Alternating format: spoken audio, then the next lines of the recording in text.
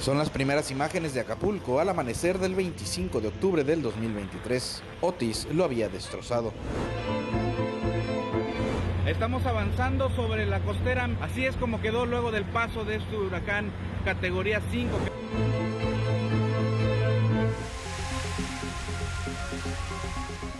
Este es el Acapulco un año después de este devastador huracán que fue Otis. Es un Acapulco que por afuera parece ya estar un tanto recuperado.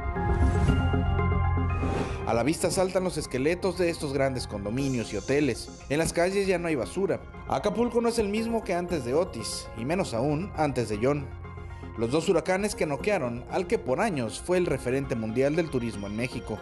No hay mucha mejoría. Habemos aún hoteles que no estamos funcionando al 100%, algunos al 30, otros al 50. Según las cifras oficiales, hasta hoy Acapulco tiene disponibles 11.500 habitaciones de hotel de las 19.600 antes de Otis.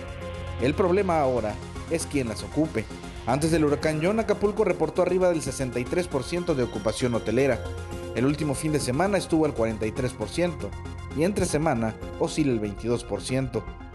Estoy caminando sobre una de las zonas que antes de John era un parque, era una plaza, todo esto estaba lleno de cemento y hoy estamos en medio de las aguas del mar. Es la playa Revolcadero en la zona Diamante. Cuando parecía que las cosas mejoraban después de Otis, llegó John con sus cinco días de lluvia y derrumbó cualquier esperanza. El mar avanzó más de 100 metros y arrasó con todo. Y la verdad no tenemos nada, no tenemos turismo, no tenemos, todo estamos sufriendo, no tenemos playa, estamos acabados, no hay ingreso, no hay nada para comer, la gente necesita comer. De aquí dependen económicamente alrededor de 500 familias, quienes desde hace un mes no venden nada.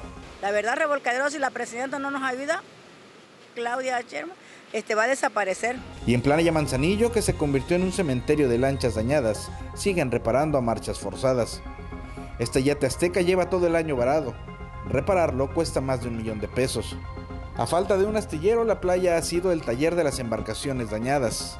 Pero tienen de plazo hasta febrero porque la autoridad requiere que se libere. Las que están aquí pues son patrimonio de, de muchos dueños que perdieron todo. Y destruírselas o acabarlas de romper pues sería acabar con ellos. Acapulco sigue vivo, pero está lastimado.